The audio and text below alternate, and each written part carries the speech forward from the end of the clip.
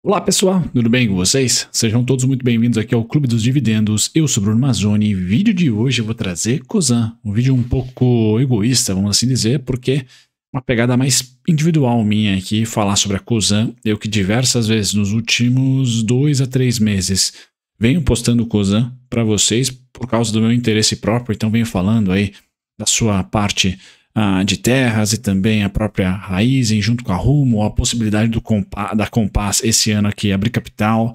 Então tudo isso envolve mais a participação recente na Vale, um pouco de dividendo, um pouco de crescimento e principalmente dinheiro em caixa, né?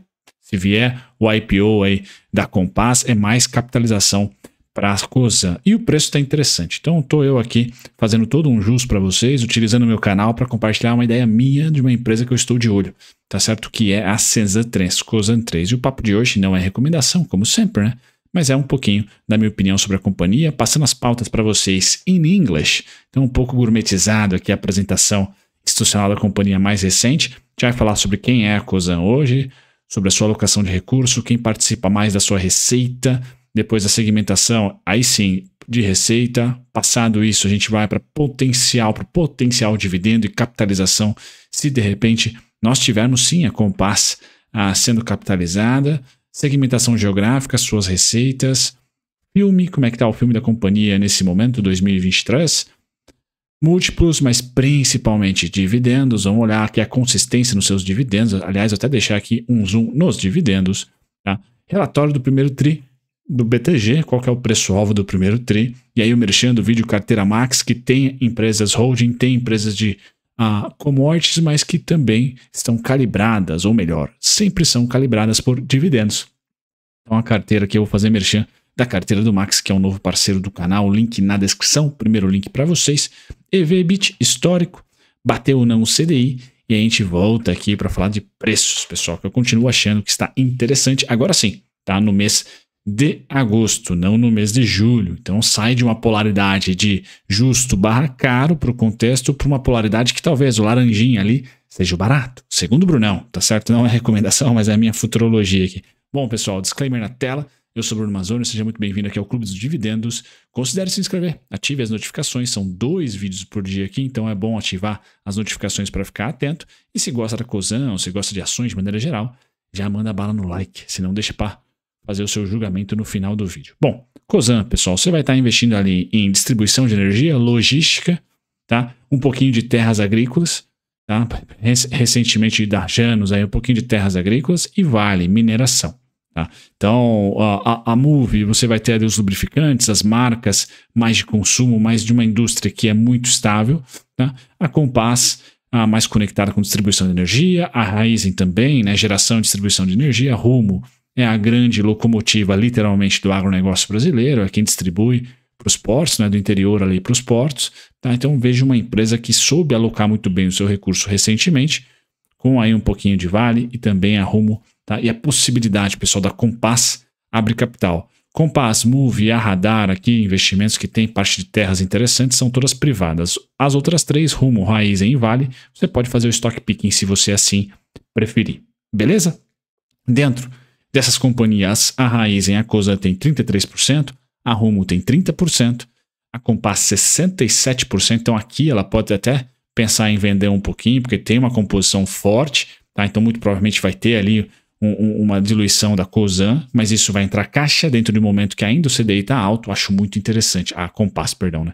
Então a COSAN tem 67% da Compass, ela pode ser diluída e vai ser até benéfico, tá? Pensando em alocação de recurso e caixa. A Move, ela também pode ser diluída se em algum momento abrir capital, mas eu acho que essa aqui tem menos potencial. Tá? A na Radar, ela tem 30% e na Vale 4,9%. Beleza? Quando a gente olha aqui para a composição de receita, tá? sem contar ainda com é, a aplicação em ações da Vale, né? a Vale vão estar de olho ali muito mais em dividendos, não em receita direta. Tá? A Raizen, pessoal, compõe aí a maior parte de sua receita. Né? Quando a gente é, desmembra aí, é Raizen e Compass, tá? que compõe ali a maior parte de receitas da companhia. Neste uh, histórico eu ainda não tinha tá? a Raizen aqui para computar para vocês, então a Compass detinha 50%, mas hoje não. Hoje a Raizen tem grande parte ali uh, do, do EBITDA uh, sendo comparado em relação o relativo com as outras, né? e a Compass tá? e a Rumo né? são as outras duas grandes. certo? Então, bem interessante. Eu acho que a Cosan teve ali uma boa alocação de capital, boa alocação de capital mesmo. São empresas cíclicas, todas elas, tá? Não, não, não tenho dúvida disso.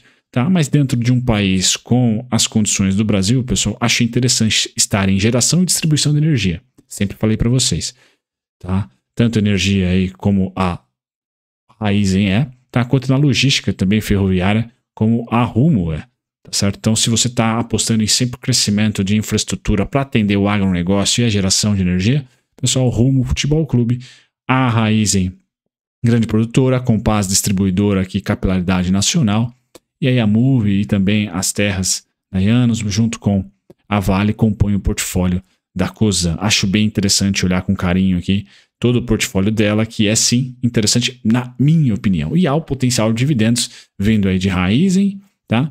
e de Vale. Agora, a Compass, caso abra capital, mais uma companhia que pode ali capitalizar a COSAN e vir dividendos extraordinários em um primeiro momento, se a COSAN for diluída, por exemplo, e não tiver uma, um outro aporte para ser feito, tá? Embora ela é uma companhia que está dinâmica de 2018 para cá, 2019 para cá, mas o interessante é saber que tem sim uma alavancagem um pouquinho mais azeda, tá? Três vezes lucro, parecido com a Simpar ali e tal, mas que ela vem entregando aí aquisições interessantes. E de novo, pessoal, gosto do portfólio da, a, a, da Cosan, gosto de estar participando indiretamente do setor de distribuição e geração de energia no Brasil, tá? É, estilo Berkshire Hathaway, assim como a Itaúsa, tá? a COSA também está nesse segmento mais de infraestrutura, energia e distribuição. Tá?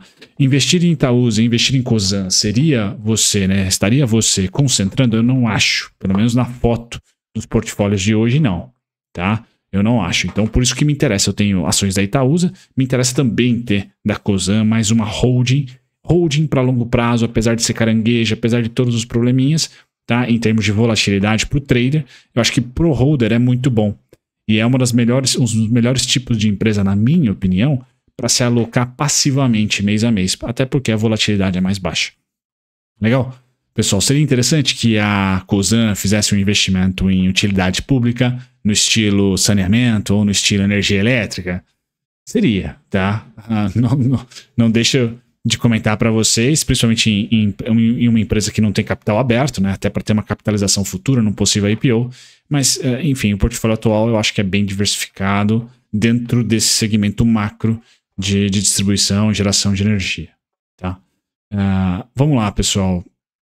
Segmentação geográfica: 86% é Brasil, 4,5% é Estados Unidos, 3% Reino Unido, 3% também França. Então, assim, é uma companhia mais conectada com o Brasil. Tá? Tem que saber disso. A gente vai estar mais sensível aqui a Brasil Futebol Clube. Olhando o filme, é uma companhia de inflação. Então, de novo, natureza brasileira, sempre se beneficiando aí, caso você invista em ações de inflação, seja energia elétrica, ou seja também de energia, geração de energia, por exemplo, que não ah, tem a, a, a parte final ali como energia elétrica, tá? Mas enfim, 2021 foi o ano da glória, tá? E a empresa, na minha opinião, soube alocar capital tá? soube redirecionar ali os seus investimentos. Reverteu um prejuízo e tem lucro ajustado de 140, 145 bi no segundo tri, tá? 145 milhões, perdão, no segundo tri, ótimo. Crédito aqui para o Matheus Gagliano, tá? Do Eu Quero Investir. Então tem que saber que a empresa está ciclando para baixo nos seus resultados, mas está mantendo a alavancagem. Isso é importante e gerando caixa para caramba. Se vier uma capitalização agora, pessoal, da Compass, por exemplo, eu acho maravilhoso, porque ela tem grande posição na Compass, então não necessariamente precisa ah, continuar com essa posição de 67% na Compass, pode baixar para 60%, para 50%, para 40%. Mesma coisa na Move em um futuro, tá? Embora a Move eu não acho que tenha ali grande ah, potencial. Então é uma companhia que tem para o médio prazo e curto prazo boa estrutura de caixa, pode vir mais um caixa com capitalização e está gerando caixa. Está tá gerando caixa. Então, assim, não vejo uma companhia para o futuro, vejo que já é presente e o desconto está aparecendo nos preços. já vou falar para você já já, tá? No desconto, o desconto técnico da companhia. Então, gosto tá? dessa dinâmica e caixa dívida dela atual, mesmo sabendo que é uma alavancagem um pouco azeda se você comparar, por exemplo, com a Itaúsa, certo? É uma alavancagem que de 2020 para cá se azedou um pouquinho, tá? Ela se movimentou, para novas aquisições e quem sabe uma capitalização da Compass não alivie ainda mais essa alavancagem. Tá? Os financiamentos aqui foram para casa das alturas. Então tem que tomar cuidado, sem dúvida nenhuma, com o que ela está financiando, como ela está ah, se capitalizando agora. Por isso que um IPO seria bem-vindo. Tá? Uma diluição na, na Compass seria bem-vinda. Tá? Dividendos, pessoal, com essa turbulência toda de alavancagem, ela tem ali um dividendo até que estável, tá? A média líquida dos últimos três anos está em 50 centavos, então o interesse ali por dividendos eu acho que não vai aparecer no seu radar, tá? Principalmente se você faz regra do Barça ou do Bazin, seria R$ 8,33 o seu desconto, tá? 2021, um ano muito atípico para inflação, tá? Então não vou repetir aqui os 63 centavos tão cedo, tá? Eu acho que vai ficar entre 43, 40 e 50 centavos mesmo certo, pessoal? Entre 2 a 3% de yield aí no curtíssimo prazo. Então, por dividendos, novamente, você estaria esperando ela abaixo dos 10, tá? O BTG, pessoal, no oposto, coloca aqui a companhia em 30 e já falou no primeiro tri que é hora de desalavancagem. Tá? E é verdade, a Cosan está alavancada, alavancada mais do que uh, o necessário, mesmo com a capitalização da Raizen. Tá? Então, olhar para uma capitalização, uma diluição aí da Compass, pessoal, eu acho interessante tá? para desalavancagem. E agora, na expectativa de corte de juros, ela também desalavanca um pouco. Então, a dinâmica dívida EBITDA continua legal. Pessoal, só pode ficar mais bacana ainda caso venha uma capitalização da Compass, que eu trouxe no último vídeo. Merchan do, canal, pessoal, merchan desse vídeo aqui, aproveitem, o, o, o Max está como parceiro do canal. Aqui, pessoal, para você que quer seguir o Max especificamente e a carteira em, em conjunto e tem 50 mil reais ou mais para investir ou dentro da sua conta na corretora, a Anomos vai ter assessoria personalizada com você.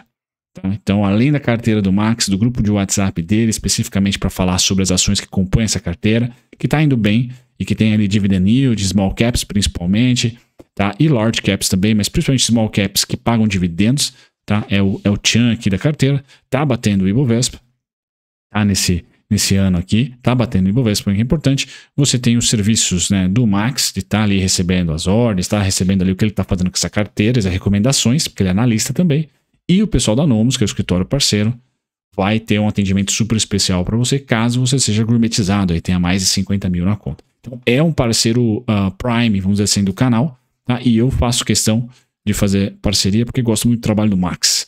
Beleza? Então tá na descrição para vocês aqui o acesso a essa carteira que é 0800, não custa nada, só o pessoal da Nomos que vai sempre tentar fazer com que vocês abram conta no escritório, que é um escritório vinculado a XP, muito bom por sinal tá? Fez a, a, a, junção aí da BR Partners com a, a Blue Star. Beleza? EVBIT, pessoal, na Cosan, voltando ao vídeo, né? Nós temos aqui abaixo da média.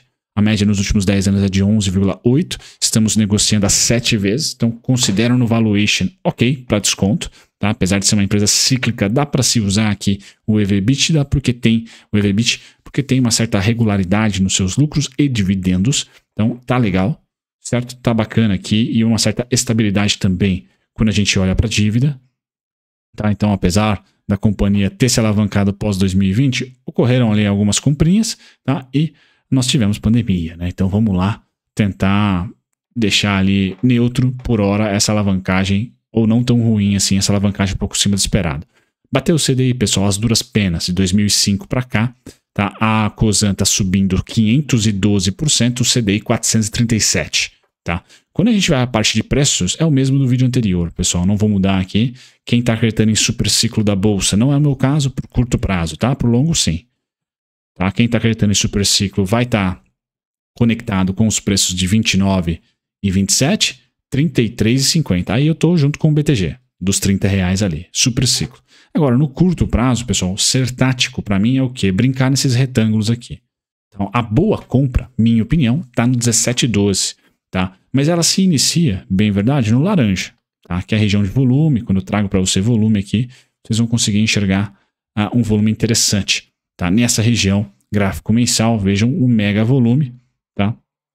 Dessa região de preços que eu circulo aqui, coloquei bem em cima, né?